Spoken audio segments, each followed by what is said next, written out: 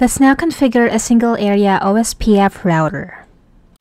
Given this topology, we have three locations, the data center, main, and remote branch. The entire network must be configured with OSPF version 2 area 0. And it should use OSPF 2 with a process ID of 1. But before configuring OSPF 2, make sure each router interface has an IP address and is up. To configure OSPF, we use this command to enable the OSPF process on router 1, where 1 is the OSPF process ID.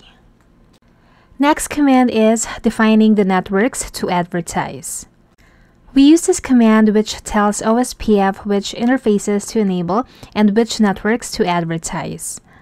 0.0.0.255 is the wildcard mask or the inverse of subnet mask and this sets the area ID to 0. Next is optional but important, which is to set the router ID. We use the command router ID and the router ID to be used. We can use the following commands to verify the OSPF configuration.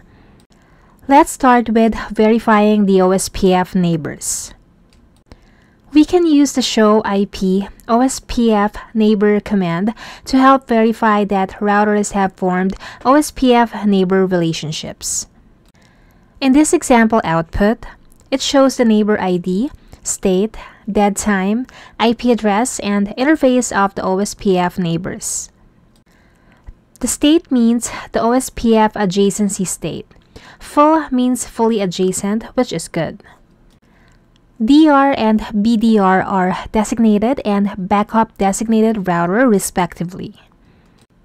Another state can be a full or a DR other, which means full adjacency and neither a DR or BDR. And there's also the two-way or DR other state, which is a two-way neighboring that's neither a DR or BDR. So, if you don't see neighbors in full state, OSPF adjacency is not fully established. Next is verified enabled interfaces. We can use the command show IP OSPF interface brief and it's useful for quickly checking which interfaces are running OSPF, their area, and state. In this example output, we can see the different interfaces running OSPF. The state means network type and role. It can be BDR, DR, or DR other. Or P2P for point-to-point -point links. So, we can see here that on interface GIG00, router 1 is the BDR with two neighbors fully adjacent.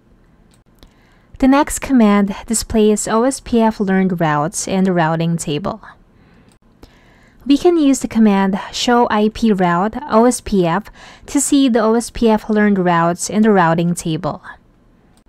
In this example output, the letter O means the route is learned via OSPF.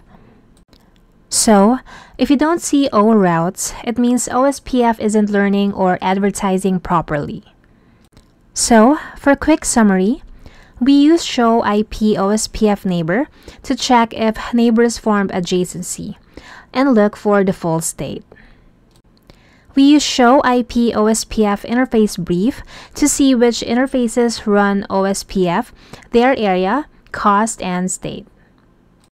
And we use show IP route OSPF to confirm OSPF is populating the routing table with learned routes. Let's now discuss the OSPF passive interface, which is a feature that is very commonly used in real-world deployment. Normally, when you enable OSPF on an interface, it advertises the subnet, so other routers learn about it. It also sends hello packets trying to form neighbor relationships. But not every interface has another router connected, so this is where passive interface comes in. Why do we need passive interface?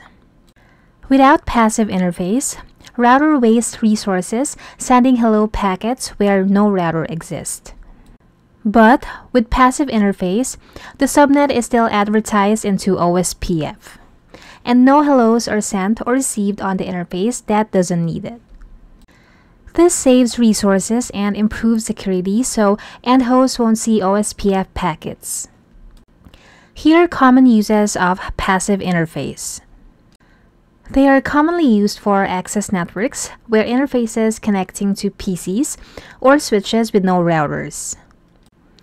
And this is how we can configure OSPF passive interface. First, we use the command router OSPF1 to enable the OSPF process with the process ID 1 on the router.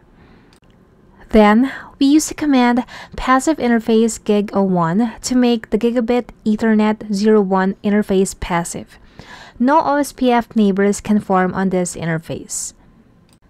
To make all interfaces passive by default, we use the passive interface default command. This is a quick way to stop OSPF hellos everywhere. To re-enable OSPF hellos on an interface, we can use the no passive interface gig00 command. This is the interface where you actually want neighbors to form. Let's now discuss OSPF default route. Let's review what a default route is first. A default route is like a last resort path. If a router doesn't know where to send a packet, it forwards it to the default next hop, allowing routers to forward packets to unknown destinations instead of dropping them. So, even if a router like router 4 here has a static default route, OSPF won't advertise it automatically to its neighbors. To share it with the rest of the OSPF network, you need to configure it first. First, we configure a default static route on the border router, router 4. And we use this command to configure it. 192.0.2.1 is the next hop ID. Then, we can use the command default information originate to tell the OSPF to advertise that default route. Now, router 4 advertises this default route to router 1, 2, and 3 using OSPF. And this makes router 4 an ASBR or Autonomous System Boundary Router. But what if the ISP link fails? Router 4 will remove the default from its own table and will send a Type 5 LSA with infinite metric, so other routers delete the default route too. And if the router loses its own default route, it stops advertising it to the other OSPF routers. We can also force the router to advertise a default route into OSPF even if it doesn't currently have one in its routing table. We can use the always keyword to advertise unconditionally, and we can add it with the default information originate command. Why do we use it? One reason is routing stability. Without always, if the ISP link keeps flapping, the default route will appear or disappear constantly.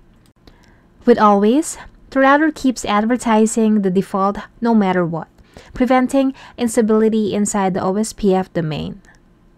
Just be careful that if not planned, unconditional defaults can cause routing loops or black holes.